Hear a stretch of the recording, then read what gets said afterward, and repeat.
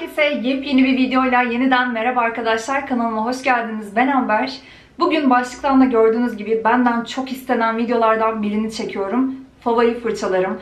Her kategoriden sizlere en sevdiğim, en beğendiğim, fiyat performans olarak düşündüğümde de en başarılı bulduğum fırçaları topladım. Her kategoriden böyle birkaç tane fırça göstereceğim ki siz aralarında hoşunuza gideni alın. Şimdi hazırsanız hemen videoya geçelim. Öncesinde eğer videoyu beğenirseniz beğen tuşuna basmayı ve kanalıma abone olup yanındaki bildirim zilini açmayı lütfen unutmayın. Bu sayede hem beni desteklemiş olursunuz hem de yeni videolarımı kaçırmamış olursunuz. Beni altta geçen Instagram adresinden takip ederseniz de çok sevinirim. Hadi şimdi hemen videoya başlayalım. Şimdi ben kendi makyaj yapma sırama göre gitmek istiyorum. İlk olarak fondöten fırçalarıyla başlayacağım. Hatta öncesinde bir sünger göstereceğim.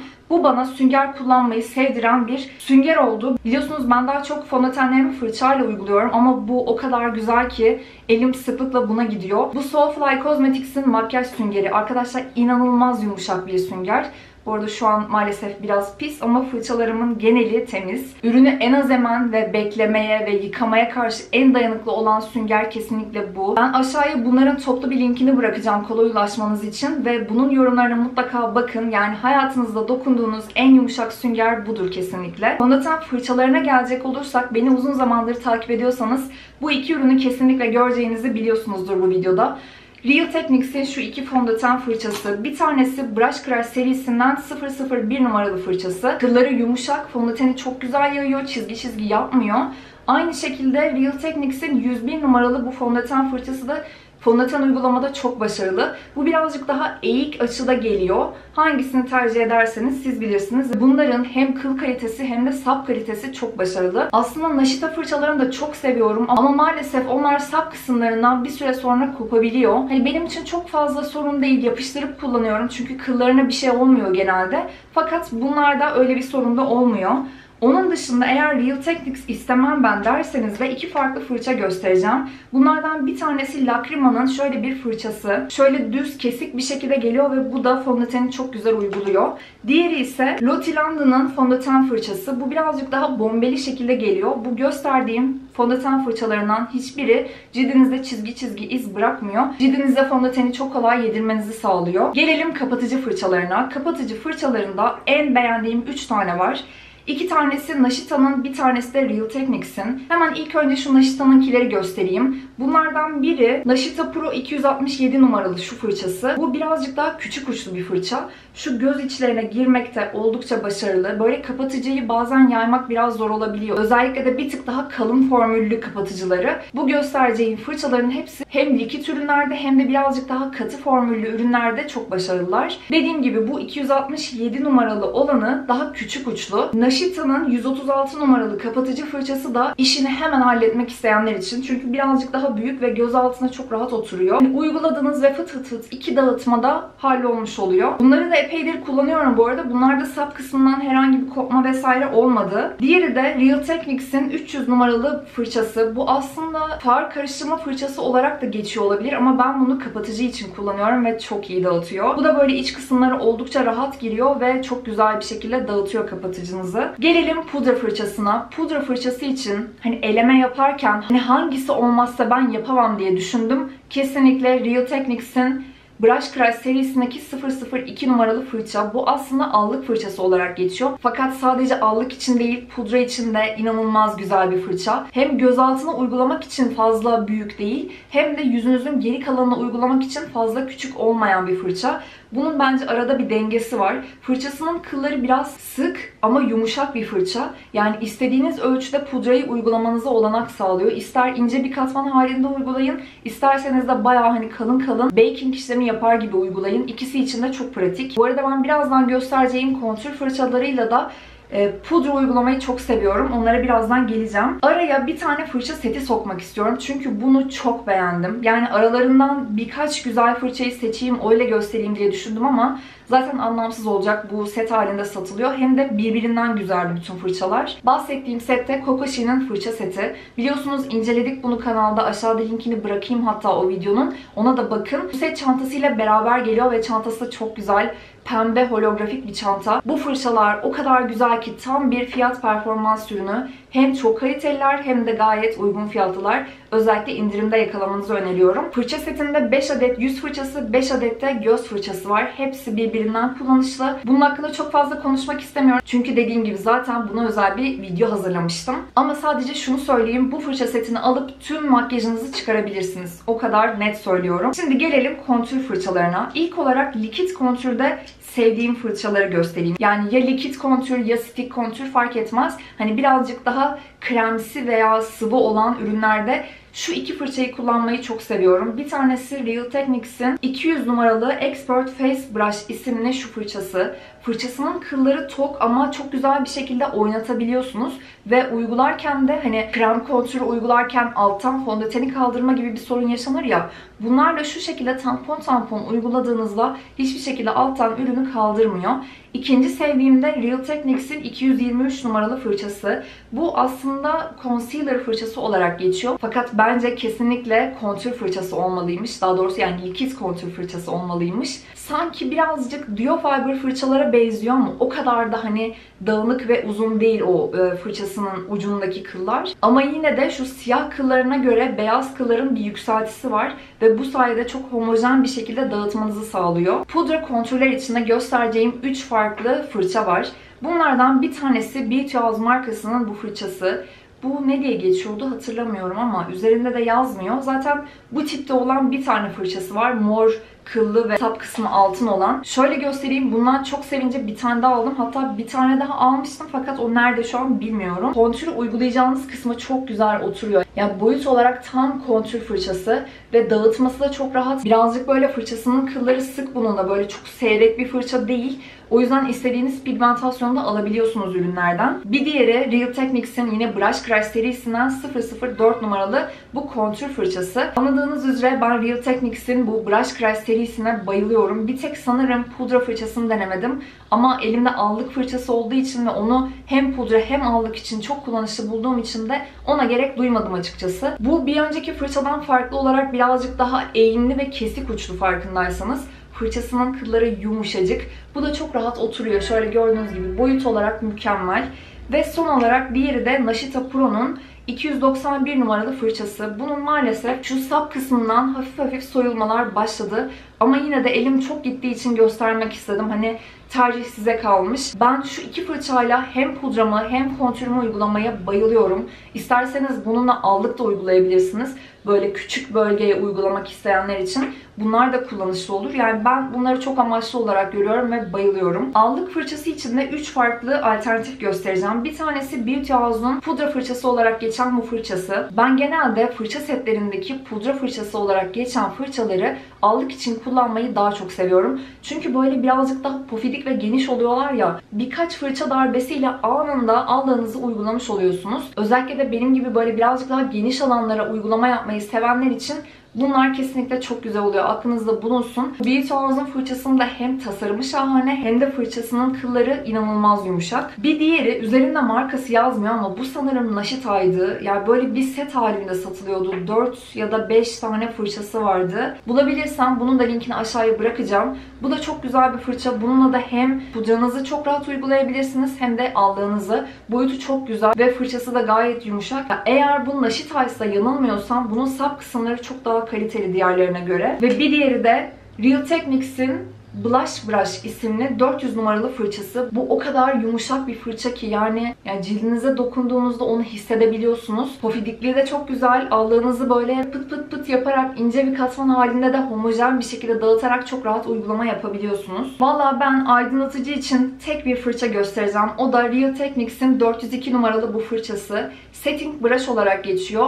Ben bazen bununla göz altlarıma da pudrayı sabitlemek için de kullanabiliyorum. Onun için de güzel. Hatta kapatıcıyı da çok güzel yayıyor fakat aydınlatıcı için mükemmel bir fırça. O kadar çok beğendim ki bir tane daha aldım arkadaşlar. Gerçekten çok kullanışlı. Hani aydınlatıcıda hep diyorum ya simi alıp bırakıyor bazı fırçalar ürünün kendi rengini bırakmıyor. Bu kesinlikle öyle bir fırça değil. Ben o yelpaze fırçalardan nefret ediyorum gerçekten. Bununla aydınlatıcı müthiş uygulanıyor. Şimdi gelelim kaş fırçalarına. Benim de daha yeni denemiş olduğum bir fırça seti göstereceğim. Ya mesela ben Essence'ın bu kaş fırçasıyla da şu an bulamıyorum asla ama Kaş fırçasıyla da uygulama yapmayı seviyorum. Özellikle böyle kaş pomatlarından bahsediyorum. Ama bu fırça setini denedikten sonra gerçekten bu set bana çok daha mantıklı geldi. Hem fiyat olarak hem içindeki bu fırçaların performansı olarak. Bu Nashita'nın e, kaş fırça seti olarak geçiyor. İçerisinden şöyle 5 farklı fırça çıkıyor. Bunlar maalesef kirli çünkü dediğim gibi yeni yeni kullandım ben de. Öncelikle gördüğünüz gibi tasarımları inanılmaz güzel. Hepsi eğik bir şekilde ve bu sayede de çok kolay uygulama yapabiliyorsunuz. Bu kaş altınızı aydınlatmak için olan fırça, şu kısımlara uygulama yapmak için ve boyut olarak inanılmaz güzel. Şu fırçaların uçlarını yakından göstermek istiyorum. İkisi birazcık farklı birbirinden. Bu birazcık daha bildiğimiz kaş fırçalarına benziyor fakat yine de o e, kıl kalitesinden farkı anlayabiliyorsunuz. Şu da birazcık böyle tırtıklı şekilde geliyor. İkisini denediğimde sanki bunun doldurma performansının daha iyi olduğunu fark ettim. Bunu kaş farı için düşünerek koymuşlar fakat ben onun için kullanmadım. Şöyle göz pınarlarına uygulama yapmak için çok mantıklı geldi bana ama bu fırçayı henüz denemedim. Ve bir de setin içerisinden şöyle çok güzel bir kaş tarağı çıkıyor ve mükemmel tarıyor kaşlarınızı arkadaşlar. Hani böyle bazı kaş tarakları e, taradınız mı taramadınız mı belli olmaz ya. Bu Bayağı güzel bir şekilde kılları kavrayıp kaldırıyor. Çok beğendim bu fırça setini. Ha, eğer derseniz ki benim sadece fırça tarağına ihtiyacım var. O zaman size şu onlu fırça taraklarını göstereceğim. Hem renkleri çok güzel. Şöyle fırçası pembe ve sap kısmında da simler var. Hem de kaşınızı gayet güzel tarıyor. Ve fiyat olarak da çok uygun. Böyle onlu setler halinde satılıyor bunlar. Şimdi gelelim göz makyajına. Biliyorsunuz ben böyle ışıltılı farları göz kapağıma uygularken birazcık daha yassı ve düz fırçalarla uygulamayı seviyorum. Hatta ara ara da videoların altında bana soruyorsunuz bu fırçalar hangileri diye. Şimdi size onları göstereceğim hemen. İlk olarak şundan bahsedeyim. Nashita Pro'nun 264 numaralı fırçası. Böyle gördüğünüz gibi yassı, düz ama tok bir fırça. Dolayısıyla ürünü komple üzerine alabiliyor. Bu sayede de bütün o ışıltılı rengi göz kapağınızda görebiliyorsunuz.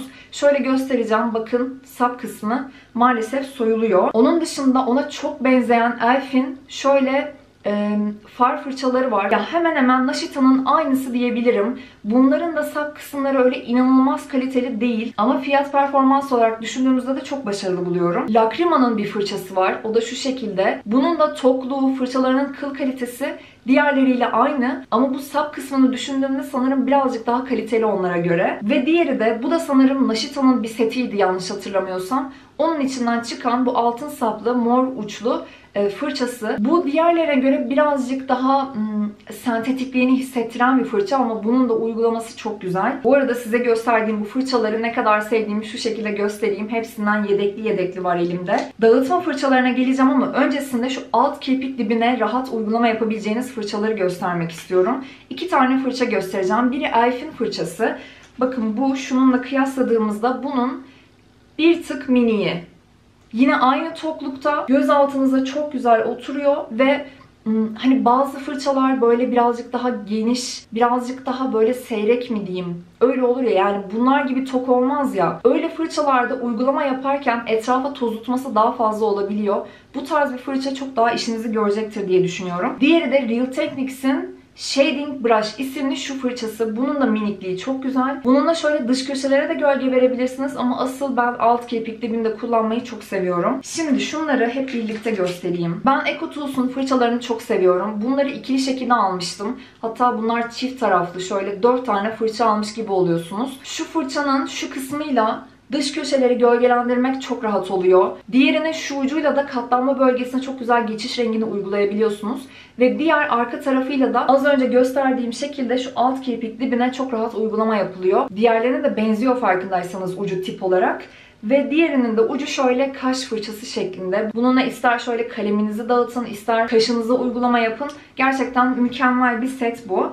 Bir set daha var ki bunu da yakın zamanda denedim ve bayıldım. Bu da böyle beşli göz fırça seti olarak geçiyor. Yine Ecotools markasının. Bunun yanında bir de böyle bir minik çantası geliyor. Bu fırçalar daha minik gördüğünüz gibi seyahat boy gibi duruyorlar ama yani Zaten sap kısmı uzun olsa ne yapacağız? Şu iki fırça birazcık büyük. Bu ya aydınlatıcı için ya böyle kapatıcınızı dağıtmak için kullanabileceğiniz fırçalar bence boyut olarak. Ama şu mini uçlu fırçalar var ya mükemmel. Bunlarla tam olarak göz pınarınıza uygulama yapabiliyorsunuz. Hani böyle göz pınarına ışıltılı renk uygularız ya. Ben onun etrafa dağılmasını, geniş alana uygulama yapmayı hiç sevmiyorum. Şöyle küçük küçük Göz pınarına uygulama yapmak için mükemmel fırçalar arkadaşlar. Daha önceden H&M'den bir fırça almıştım. Şöyle göstereyim. Fırçası falan mahvoldu ama senelerce dayandı. Bunu sonradan tekrar göremedim. Ve şöyle gördüğünüz gibi tam olarak onun muadillerini buldum. Çok güzeller. Eğer detay çalışmayı seviyorsanız böyle birden fazla renkli bir makyaj yapacaksanız işte şu kısma bir renk, şu kısma bir renk falan diye gidecekseniz Bunlar çok iş görüyor. Bunların hepsi aynı fırça. Nashita Pro'nun 262 numaralı fırçaları. Bunlar kalem fırça olarak geçiyor. Bu arada bu fırçadan az önce size Coco Shee'nin fırça setini göstermiştim ya. Onun içinde de var aynısı. Hani o yüzden diyorum o fırça setiyle bütün ihtiyaçlarınızı giderebilirsiniz diye. Ben bunları çok seviyorum. Yumuşaklıkları da çok güzel. Eğer şöyle dış köşelerde gölgelendirmeyi birazcık daha açılı yapıyorsanız da şu fırçayı göstereceğim. Bu Eclipse'indi sanırım. Heh, aynen Eclipse'in. Bu serisi hala var mı emin değilim. Bu gökkuşağı serisiydi. Rainbow serisiydi yanılmıyorsam. Bu şöyle açılı bir fırça olduğu için şu dış köşelere çok rahat o V şeklini verebiliyorsunuz. Onun dışında Real Techniques'in şu iki fırçasına bayılıyorum. Bir tanesi 301 numaralı fırçası, diğeri de Essential Crease Brush olarak geçen fırçası. Bunlar setin içinden çıkmıştı yanlış hatırlamıyorsam. İkisi de farı çok güzel dağıtıyor. Böyle bir yere sabitlenip löpçük diye kalmıyor orada. Rahat bir şekilde dağıtabiliyorsunuz. Ve diğeri de hani az önce şu fırçayı göstermiştim ya ışıltılı farı uygulamak için. Yine o setten çıkan şöyle iki tane fırça. Bunlar da çok güzel. Boyut olarak birazcık birbirlerinden farklı. Şu siyah olanla birazcık daha geniş alanlara uygulama yapabilirsiniz. Bu mor olanla da daha küçük alanlara uygulama yapabilirsiniz.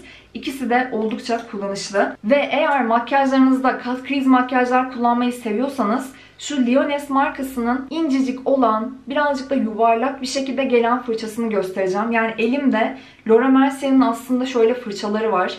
Hani bu uygulamayı yapmak için. Fakat inanın bunun onlardan hiçbir farkı yok. Gayet yeterli ve fiyat olarak da çok uygun. Umarım atladığım bir şey kalmamıştır. Elimden geldiğince fazla seçenek sunarak ama en iyilerinden bahsederek bu videoyu hazırlamak istedim sizlere. Umarım işinize yaramıştır. Umarım videoyu keyifle izlemişsinizdir. Videodan ayrılmadan önce eğer videoyu beğendiyseniz beğen tuşuna basmayı ve kanalıma abone olup yanındaki bildirim zilini açmayı lütfen unutmayın. Beni altta geçen Instagram adresinden takip ederseniz de çok sevinirim. Bana veya aşağıda yorumları okuyacak olan arkadaşlarımızla fırça önerileriniz varsa mutlaka beklerim yorumlarınızı. Hepinizi kocaman öpüyorum. Bir sonraki videoda görüşmek üzere. Bay bay.